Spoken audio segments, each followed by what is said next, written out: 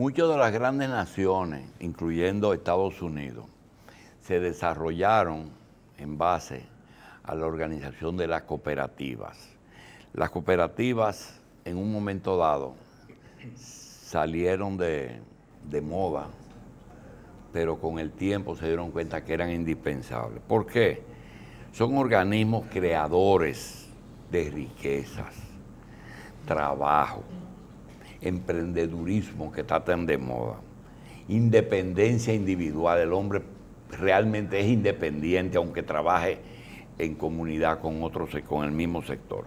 Pero tiene algo que eso es lo que impide que se desarrolle, que es que el sector intermediario, los intermediarios en todos los sectores de la vida nacional y en la economía, le cierran el paso a las cooperativas, sobre todo la banca. La banca es el principal intermediario que hay. Coge tu dinero y se lo presta al otro, pero con una, con una ganancia en el medio. Eso encarece el dinero.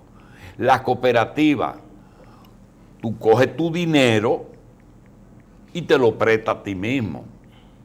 Entonces, eso no se le ha dado la suficiente. Ahora, se está, dirigido el, el, organismo regulador por un político que está entendiendo eso, lo está entendiendo. Ahora yo no sé si la política y los amarres y los problemas le van a permitir materializar ese, eh, ese objetivo del cooperativismo. Se trata del ingeniero Julio Mariñez, quien es un político viejo o viejo político, manche.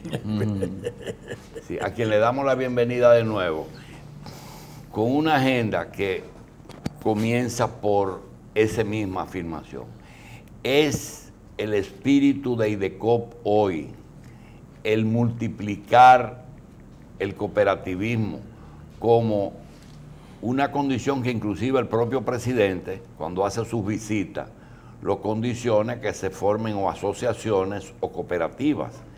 Pero lo más lejos que llegue es al Banco Agrícola. Adelante, ingeniero. Muy bien, gracias por la invitación.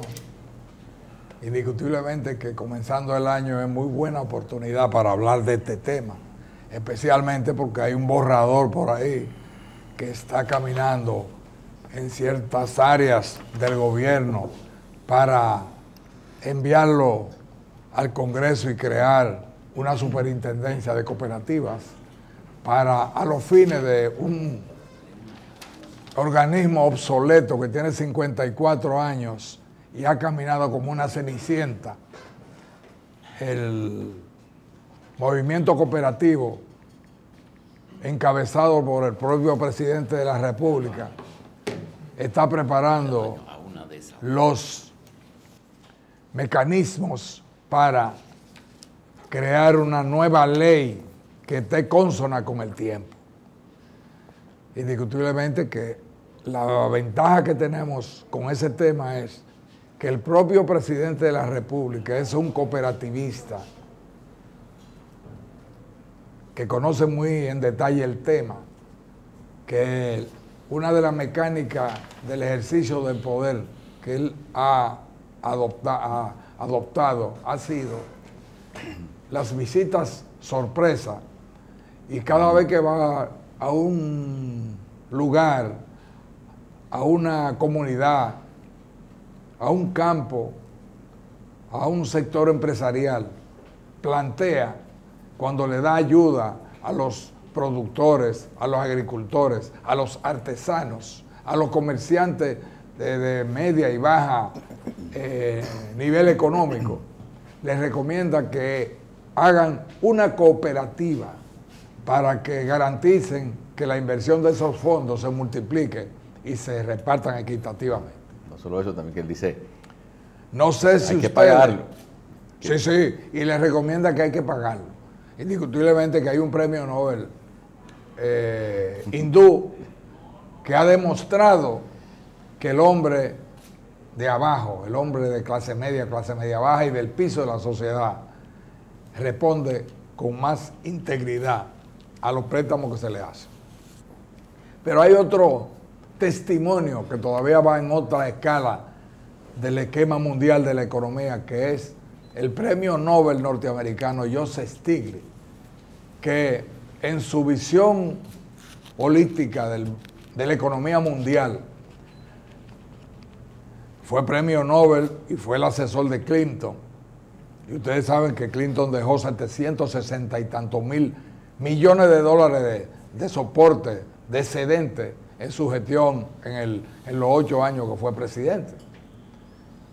O sea que este señor Stiglitz tiene autoridad para hablar del tema y plantea en su última teoría que el cooperativismo es la única arma que le queda a la clase media, clase baja y al piso de la sociedad para garantizar una repartición equitativa y una garantía de vivir decentemente. En ese sentido, y acogiéndonos a ese ambiente que hay aquí, que ya el ejercicio del presidente de la República del 12 en adelante, con las visitas sorpresas, que hay 329 nuevas cooperativas, que cuando llegamos al IDECO, el mecanismo antiguo era muy lento para darle los derechos legales a una asociación de producción de cualquier naturaleza cooperativa que duraba tiempo, años, hasta siete años, hemos producido un mecanismo de que a los 60 días cualquiera que solicite formar una cooperativa la tiene en su mano con todos los requisitos legales y con el decreto firmado por el presidente de la República.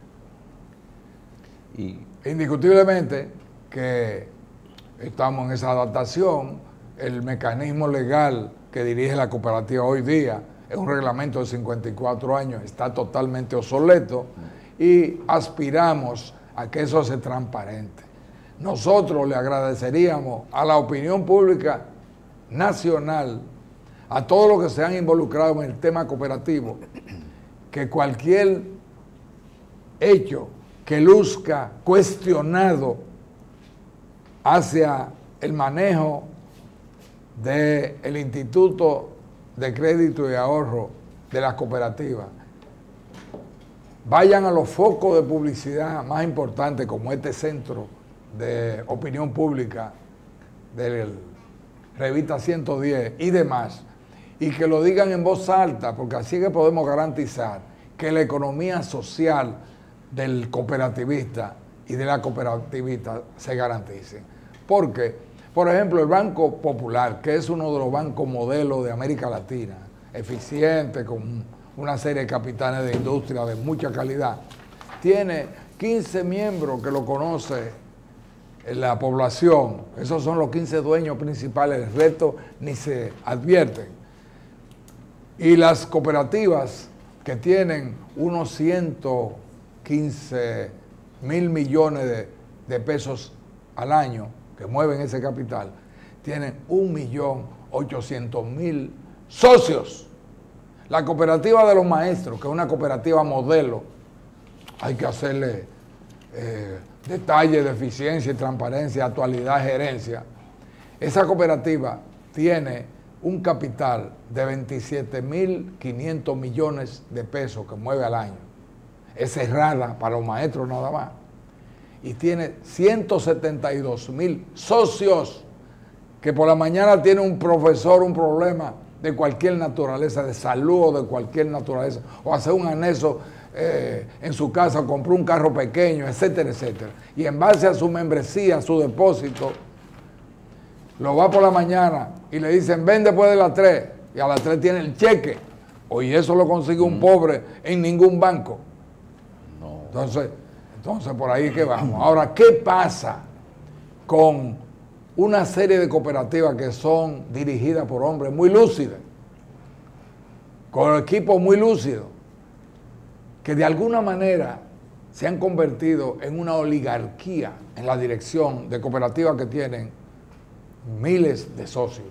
Y el grupito se ha convertido en una oligarquía y se han confundido, se confundido los roles. ¿Cómo se han confundido? Oh, pero hay cooperativas que tienen 2 mil millones de pesos a plazo fijo en los bancos para hacer el ejercicio financiero regular de la banca. Hay otras que tienen 800, 900, 500, etcétera, etcétera.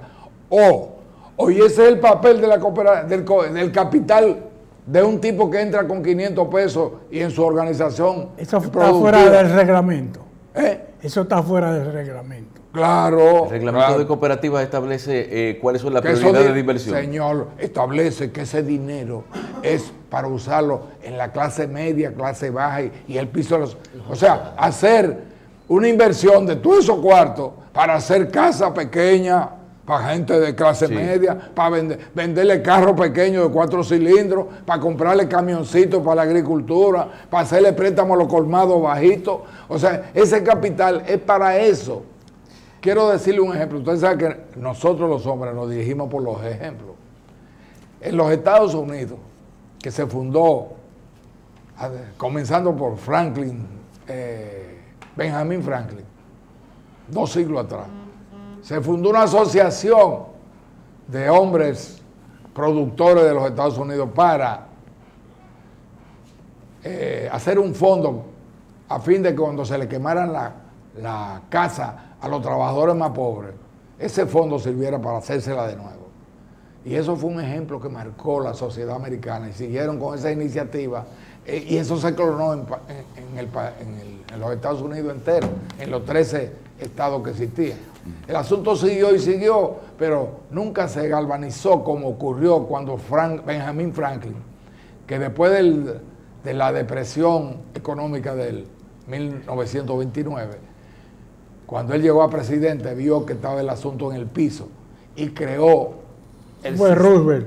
Eh, Franklin Delano Roosevelt, creó el sistema cooperativo en los Estados Unidos que el presidente, el director de la cooperativa los, los nombra el presidente de los Estados Unidos, tiene un consejo de siete miembros y lo creó, lo aprobó el Congreso y en los Estados Unidos, para no seguir desarrollando los pasos, hay un sistema cooperativo que tiene 47 mil cooperativas, que tiene un banco cooperativo, todo aprobado por el Congreso americano, un banco cooperativo que tiene 50 mil, 50 billones de dólares. Que la población americana, cuando lo encuestan, dice que la Credit Junior, que es como se llama en inglés el cooperativismo en los Estados Unidos, tiene un 70% de aprobación por encima de la banca regular que en Estados Unidos usted quiere comprar un carro, usted es el Credit Junior y va por la mañana y saca el cheque y compra, o se lo garantizan, etcétera, etcétera.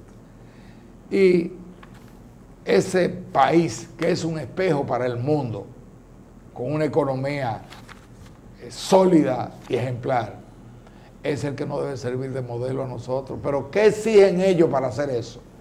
Que esos cuartos de ese banco y de la cooperativa americana no se puede utilizar para gastos de grandes proyectos, que es para la clase media, clase baja y el piso de la sociedad americana. Y aquí nosotros, que tenemos capitanes de industria en el cooperativismo muy importantes, que han hecho buen trabajo, que son gente seria, eh, confunden ese error. Esos cuartos no son para hacer torres ni para comprar Mercedes-Benz, ni para hacer... Eso es para la gente pobre, para comprar carritos pequeños para hacer anexos de casa, para comprar casa pequeña, de clase media y clase baja y la sociedad. Ahí es que estamos desfasados y por eso la ley hay que actualizarla. Por eso, y que esos capitales de industria sigan haciendo su trabajo dentro del cooperativismo, pero, que el asunto le llamemos al pan pan y al vino vino. Pero el papel, eh, usted habló del, una vez del proyecto de la superintendencia de cooperativa, ¿eso podría, a qué altura va eso? Eh, qué pasos hace falta para convertirlo en realidad y cuáles son, y si eso podría resolver esos problemas que usted está refiriendo de las inversiones eh, ajenas a la naturaleza de la cooperativa. Con el tiempo, eso se ha ido desvirtuando porque cuando Juan Boy llegó al poder, la ley 3163 la dejó firmada en su despacho y le dieron el golpe. Entonces los golpistas esperaron un tiempo más y en el año 64 ellos firmaron la ley que hizo Juan Bosch como que era de ellos. Pero a eso nunca se le ha hecho caso. ha sido una cenicienta el cooperativismo. Indiscutiblemente que ahora eh, llegó Danilo Medina, que conoce del tema, que tiene una cooperativa de él eh, y que eh, ha motivado y ha motorizado que el cooperativismo se, fortalezca. El asunto es diferente. Y con lo que se llama el aspecto sindical del cooperativismo, que es las federaciones que encabeza, que están encabezadas todas por la Confederación de Cooperativas Dominicana, que es una especie del sindicato de la cooperativa. Eh, ellos han hecho un proyecto, borrador, nosotros hemos eh, recibido otro de la superintendencia de banco y otro del senador Félix Bautista, y hemos nosotros hecho un resumen de todo eso y lo hemos planteado. Y solamente esperamos que nos pongamos de acuerdo el sector cooperativo, sindical con nosotros, para que sea química cooperativa químicamente pura, no negocio eh, enganchado a cooperativista. Eh, el trabajo que hemos hecho tiene tanto peso que el sistema, el sistema eh, social de salud de la Policía Nacional después de una entrevista con el jefe de la policía anterior, fue y el sistema de seguridad social de la policía lo hizo una cooperativa. Pero eso ha producido tanto efecto en el sector de la sociedad que el señor Rubén Martínez, que es dueño de 37 financieras en la región del Cibao, fue y nos visitó y planteó pasar sus negocios a una cooperativa, porque piensa, y me lo decía él cuando le, aprobamos la cooperativa a él, que él quería sentir que su capital hiciera un trabajo con más conexión con los intereses de la sociedad. Y ese ambiente está en el país entero como si fuera una clonación. De manera que aquí lo que tenemos es que trabajar con transparencia, si en el ejercicio de nosotros hay cualquier sombra, como decíamos fuera de cámara, de comentarios eh, picantes, que lo digan públicamente o que vengan aquí o allá donde sea y lleven la presa, que nosotros estamos dispuestos a hacer un esfuerzo para que el pueblo dominicano respete el trabajo que se está haciendo con el compromiso que hemos hecho de esta posición. ¿Hay algún sector que se oponga a la creación de la superintendencia de las cooperativas? bueno, han habido, han habido ciertos eh, rumores que no lo hemos visto directamente con, el sector de la economía regular. El banco. pero Intermediación financiera. que, vieron el dinero que tienen la cooperativa y lo quieren más para adornar, Para adornar su numerito a nivel mundial. Meter ciento y pico mil millones ahí, automático le llevan sin hacer ningún esfuerzo. Nosotros creemos que debemos explicarle bien al sector del Banco Central que por demás, por constitución, por la ley, eh, por la constitución de la República, la economía del país, la regencia, la, economía, la Junta Monetaria, y nosotros en ese marco no tenemos que, que chistar, sino aceptar. Ahora, hay detalles como es la economía social, que debe ser la otra ala, junto a la economía regular, que debe ser la otra ala del ave de la economía nacional. Y en eso nadie se puede confundir. Los ensayos que se han hecho de meterse la economía regular a controlar la cooperativa. Tiene seis o siete ejemplos, comenzando por Puerto Rico, que cuando se ha metido la economía regular a a querer dirigir la cooperativa, han eliminado el cooperativismo en esos países. Y eso lo sabe el presidente de la República mejor que nosotros.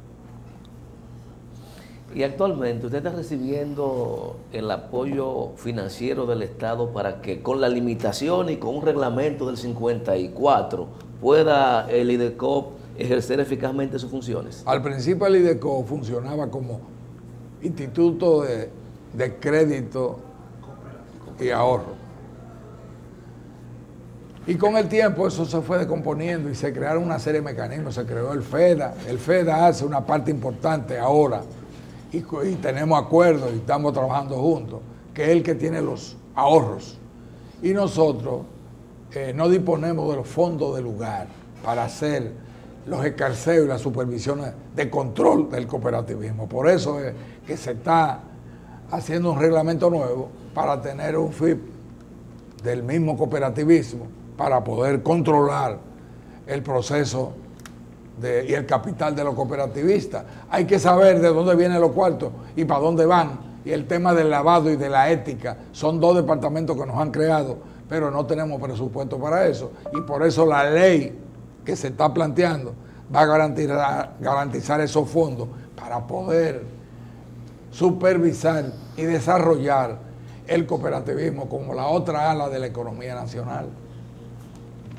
El, el FEDA es un brazo de la cooperativa, no es cooperativa en sí misma, ¿verdad? El FEDA es un organismo que tiene el Estado para financiar los proyectos agropecuarios. Pequeños. Y entonces, sí, sí, mediano y pequeño. Y exige que se hagan cooperativas o asociaciones. Sí, sí, sí, sí, tenemos un acuerdo y, y toda la semana estamos reunidos. Eh, hay una unidad de FEDA y que la acompaña un técnico del, del IDECOP y van... algo más de eso y van a las visitas sorpresa del presidente y desde que el presidente asigna unos fondos, nosotros le caemos atrás y en menos de 60 días ya se hace una nueva cooperativa. La supercooperativa.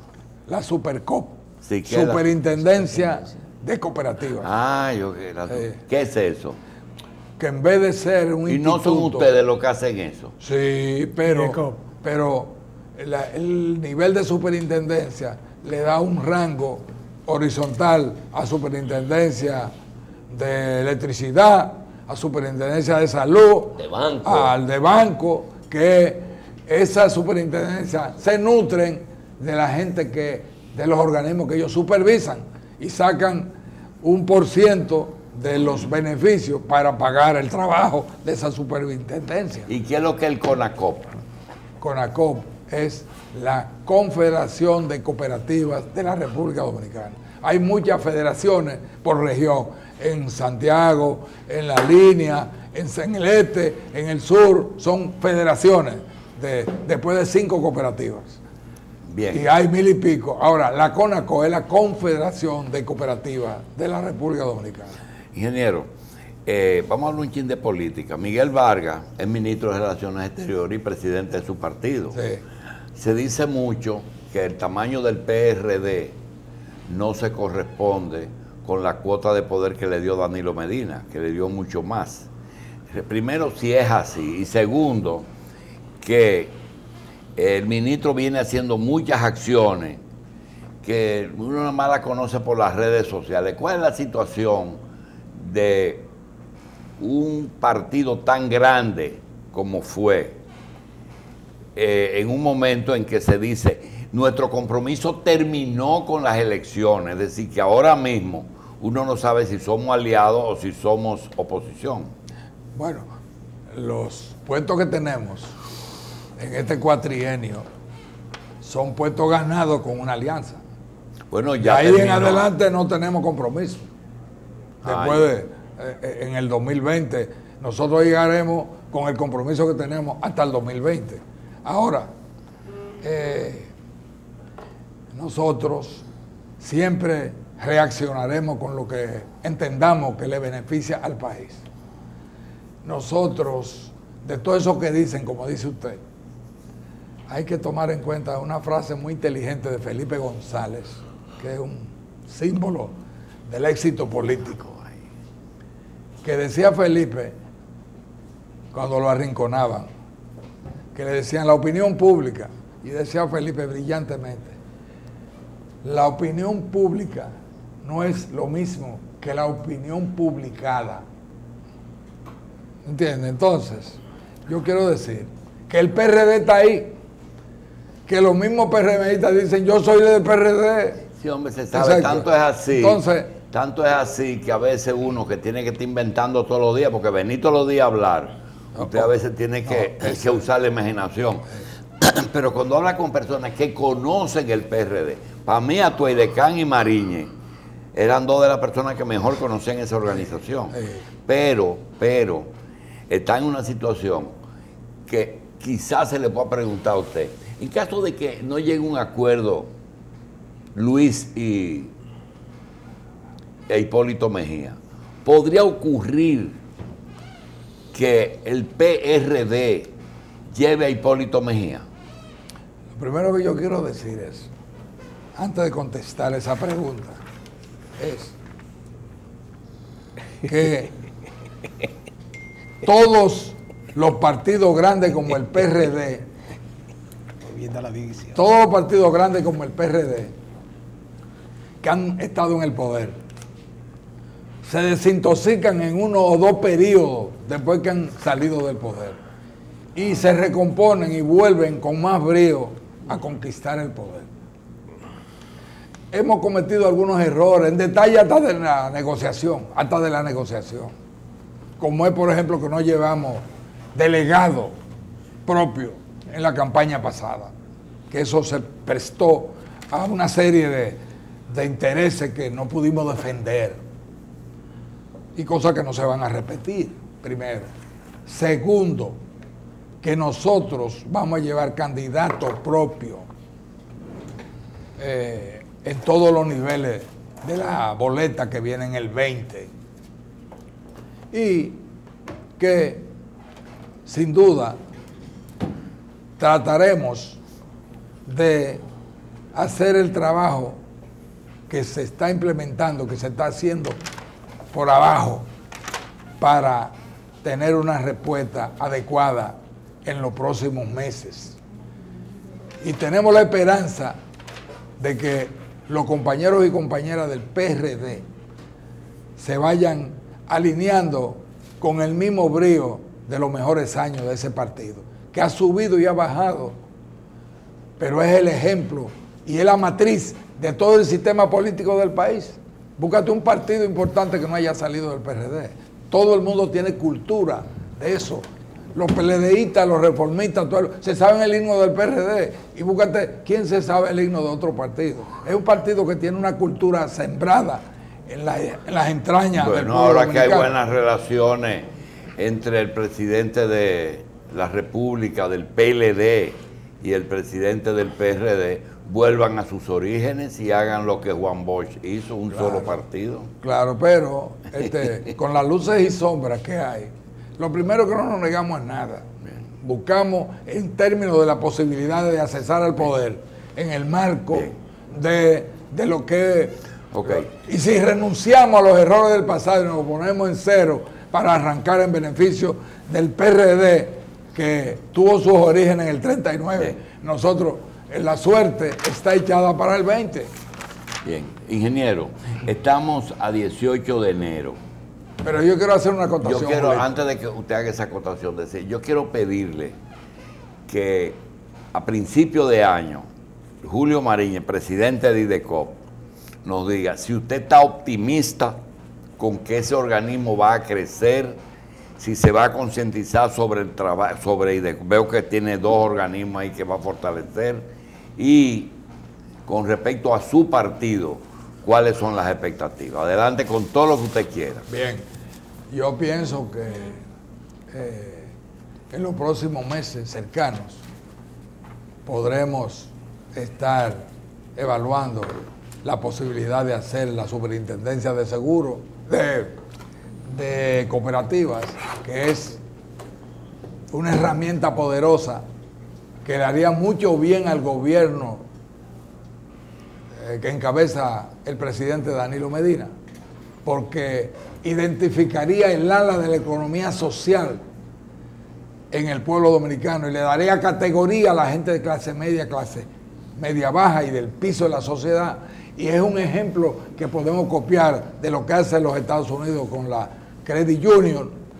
Pienso que si eso se establece comenzando el año, se crea una expectativa fundamental y, prometedora para la sociedad dominicana, que es el 80% de la clase media, la clase media baja, y el piso de la sociedad, creemos que eso tiene una perspectiva prometedora y ojalá Dios nos ilumine a todos. Primero. Segundo, sobre el PRD, pero sobre Miguel Vargas, que es el ministro de Relaciones Exteriores, que como ministro de Obra Pública hizo una labor excelente, que como ciudadano es un tipo bien formado, que tiene una base gerencial de calidad y es dueño de, de conducta personal atractiva para ser responsable de una misión de dirigir el país. Sí, como se recreó Miguel en la Secretaría de Obra Pública y como ahora lo hace en el Ministerio de Relaciones Exteriores, con el éxito y la capacidad y la prudencia que él maneja los temas eh, gubernamentales, con la capacidad gerencial, indiscutiblemente, que si nosotros podemos aproximarlo a que sea un candidato puntero hacia el 20, el país tendrá un presidente de lujo.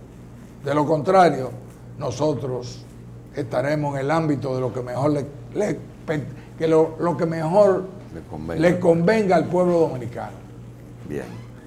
Bien, ingeniero, queremos darle las gracias, desearle y decirle que el cooperativismo es una de las cosas que nosotros eh, nos gustaría fomentar, igual que el sector agropecuario los sábados. Cualquier invento que usted se haga, pues aquí estamos. Gracias, ingeniero.